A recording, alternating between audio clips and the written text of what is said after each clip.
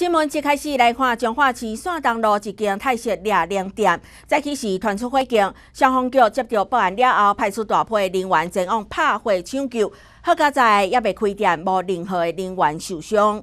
浓烟不断为时来清出来，消防人员是赶紧用破坏器材将门拍破。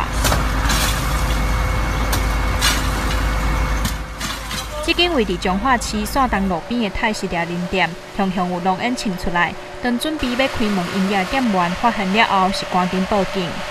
我来看到冒烟了，就是那个。车行老板跟我说，我还停车到这里的时候，他说：“哎，你们那里冒烟了。”哦，早上十点啦，所以我才十点开门啦。准备要营业而已。哎，准备要去开门。消防局表示，接到报案了后，马上派出六台消防车，在外面消防员赶往现场，发现一楼甲二楼浓烟密布，除了灌水抢救以外，要用大型的抽风机将浓烟抽出去户外。在外分钟了后，解除危机。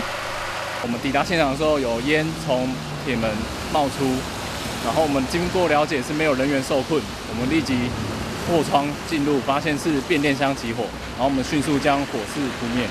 抢救过程当中，七八名准备要来上班的员工看到公司火灾，拢真无奈。消防局初步怀疑是料零店内变电箱起火，好在无人员伤亡。大中华新闻张世良中华采访报道。